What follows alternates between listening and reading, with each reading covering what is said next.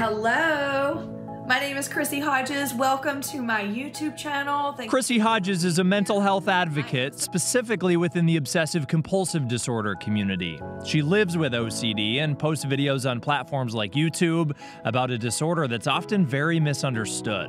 When you talk about hard things, they feel empowered. Someone else is talking about it, so so can I. You're here listening to me because you want to know that you're not alone.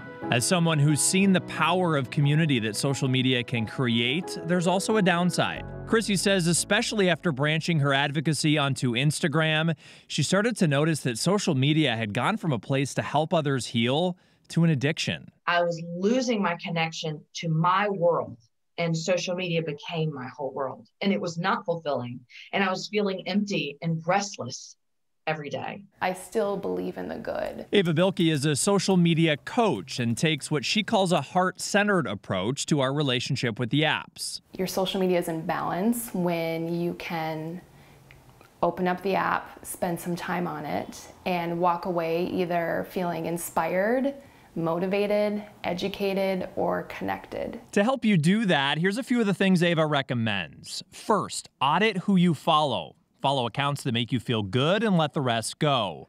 Secondly, set time caps on your phone that tell you when you've reached your limit for the day. And lastly, schedule your time on social media just like you would anything else. Maybe post in the morning and then respond to comments later. Chrissy made a deal with herself. She has to engage with social media before 9 a.m. every day and then doesn't go back on until after 6 p.m. How has that been going?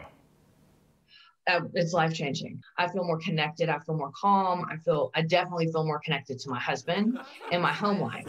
As that connection to herself grows, the message to her online community remains strong. I want them to feel heard and to feel seen.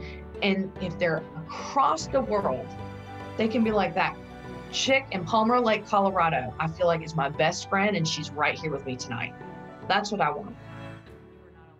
That chick.